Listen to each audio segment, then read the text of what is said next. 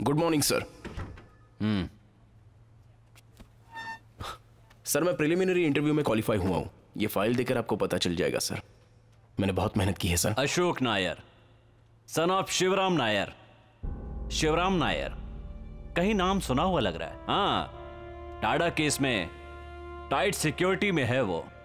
Criminal उस देशद्रोही के बेटे हो तुम। सॉरी सर वो क्रिमिनल है ये प्रूव नहीं हुआ है। उसका रिकॉर्ड मैं अच्छी तरह जानता हूँ।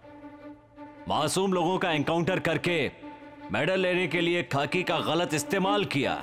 उस देशद्रोही का तो गला काट देना चाहिए। सर! चिल्लाओ मत। तुम्हारे बाप ने अपनी बीवी को मार दिया। किस लिए? क्योंकि उसे तेरी माँ पर शक था। Sir you are crossing your limits limit cross करने